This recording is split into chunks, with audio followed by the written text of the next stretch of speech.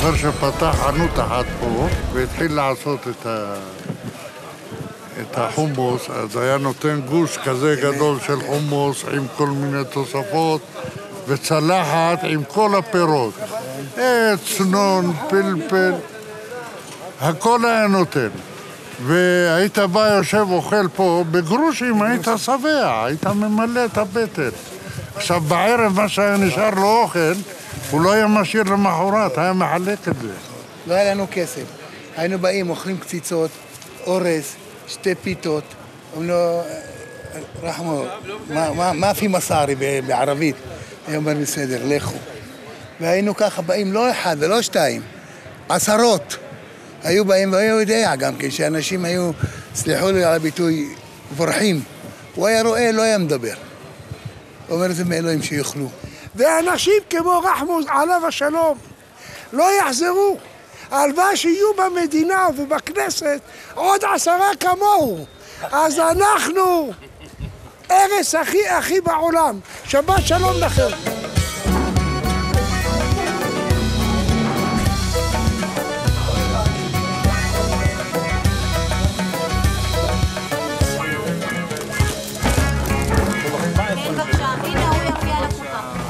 האוכל מצוין, אחלה.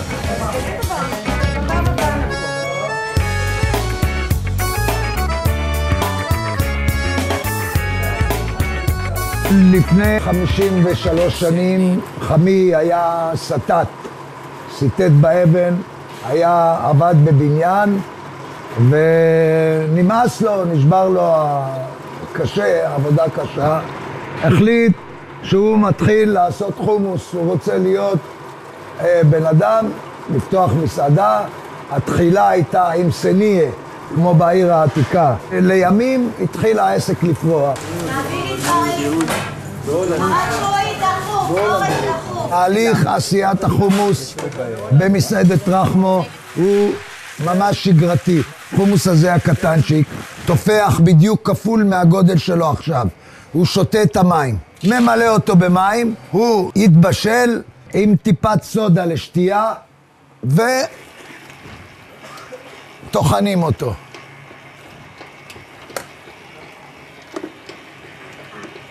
אתם רואים, אני מקבל דייסה יפהפייה, כבר מוכן לערבוב עם החומרים שהם עושים אותו חומוס.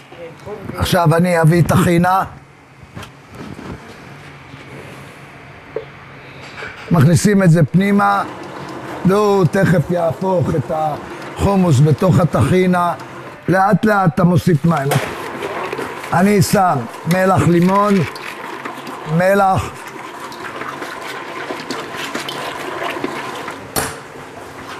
יש לנו שום, שום קטוש, כמה זמן הוא במערבל? אה, עד שאתה, זה לא עניין של אה, מדעי, זה לא שיגור מטוס. אתה רואה לפי העבודה של המכשיר, לא קודם כל להתערבב כמו שהוא, לדעתי הוא מדויק, הוא עם הזמן, בקירור ובהשעיה, עד שהוא מגיע לשולחן, הוא מקבל קושי, הוא מתקשה קצת. חומוס אוהב עם ישראל.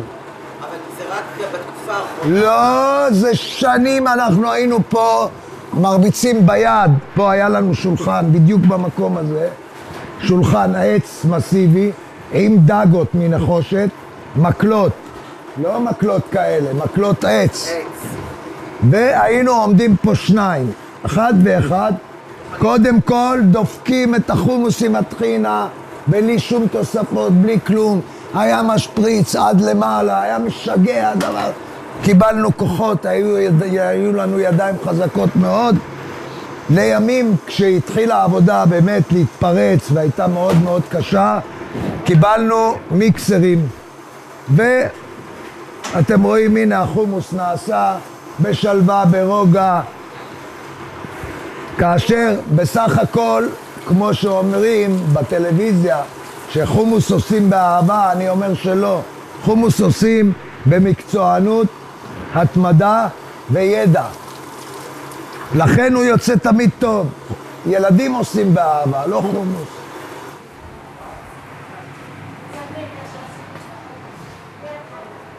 יוסי, אתה מסתדר לבד? בחוץ. משה! אז זהו. עכשיו לגבי החומוס, הנה בואו בואו תראו. אנחנו ראינו אותו דליל ונשפך, נכון? הנה הוא נהיה צמיג. הנה אני מכין מנה חומוס.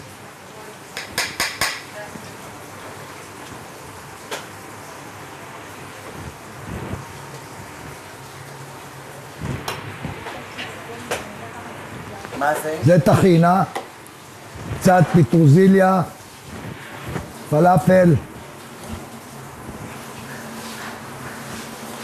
זה מוכן להגשה.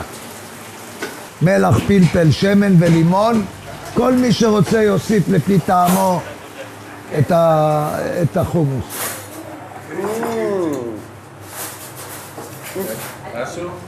ועל הזמן. מרקם. המרקם אמיתי וטוב וטעים. המוסד הזה נפתח לפני 53 וחצי שנים, כאשר המובילה בפתיחה הייתה רבקה בן יוסף, אשתו של רחמו. השיטה הייתה, קודם כל אוכלים, אחר כך ניגשים לדלפק הזה, ואומרים, אכלתי חומוס ופיתה ומעורב. ולעומת לעומת זאת, לעומת זאת, הוא אכל ושתה עוד אורז וקציצות וזה, וכל אחד היה משלם איך שהוא רצה. יום אחד אני הולך ב- בעיר, ומישהו קורא לי, אומר לי, איציק, בוא, בוא רגע. באתי אליו, אמרתי לו, כן, מה, בוא תשב, תשתה איתנו קפה. אמרתי לו, לא, אני ממהר לעבודה. אומר, אני חייב לספר לך סיפור,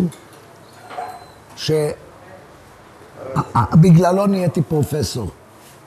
והוא יושב ומתחיל לספר לי.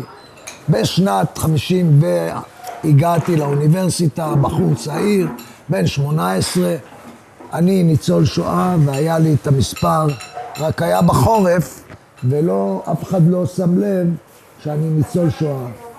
הגיע הקיץ, הפשלתי שרוולים ובאתי לה, לאכול. ורחמו קורא לי, אומר לי, בואי נא בחור, תגיד, באיזה מחנה ריכוז היית? ובאיזה גיל, איך השתחררת, איך ניצלת? אז הוא אומר לו, תשמע, אני הייתי בן 15 כשהרוסים במיידנק הצילו אותי, ועליתי לארץ, ולהתראות. ו... להתראות, ביי, ביי. חיה בדרך הנה. היא תבוא, היא תבוא עוד מעט. תכף. קטעו אותנו, הוא אומר לי, אני ממיידנק, ילד אה, ניצול שואה, ובאתי ללמוד באוניברסיטה, ואין לי, כי הוא אומר לו, תגיד, למה אתה אוכל רק מרק שעועית ופיתה? אומר לו, כי אין לי כסף. אומר לו, משה, מרגע זה, הבחור הזה מקבל אוכל, מה שהוא רוצה, אבל הוא ישלם רק על המרק שועית והפיתה. תראו, אני יכול לספר מעכשיו לעוד שבוע ימים סיפורים. האיש הזה היה איש עם הרבה חסד, עם הרבה נתינה, קוראים לו רחמים בן יוסף. והכינוי שלו היה רחמו, והוא בחייו נהיה לאגדה.